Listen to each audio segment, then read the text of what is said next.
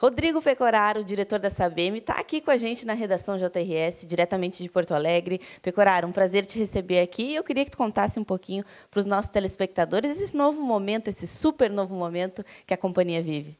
Não, realmente a gente agradece demais esse apoio do JRS. A companhia está se, se posicionando de uma maneira muito voltada ao corretor de seguros, ao mar aberto. É uma companhia de 48 anos de existência é, que tem um legado maravilhoso, tem uma história linda e que a gente entra, ingressa na companhia é, nesse sentido de trazer é, a empresa para um, uma visão mais de, de né, distribuição de, de multicanal, é, trazer essa visão de mar aberto é, né, para a companhia. Então está sendo muito proveitoso, muito, é uma satisfação muito grande.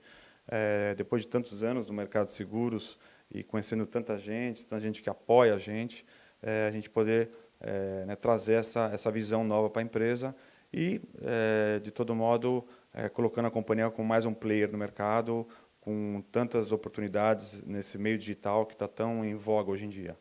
E para a gente finalizar, Pecoraro, um recadinho para aquele consumidor que vai estar assistindo e também para o corretor de seguros, que é o parceiro da Sabem.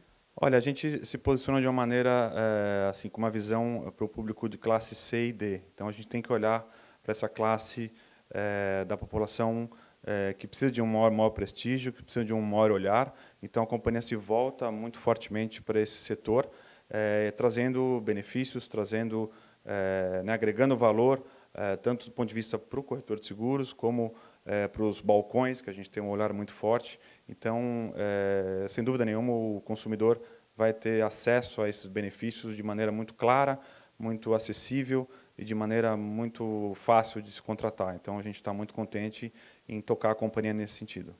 Que legal, Rodrigo Pecoraro. Em, em maio ele volta para dar uma entrevista mais estendida aqui no programa Seguro Sem Mistério. Fica ligadinho.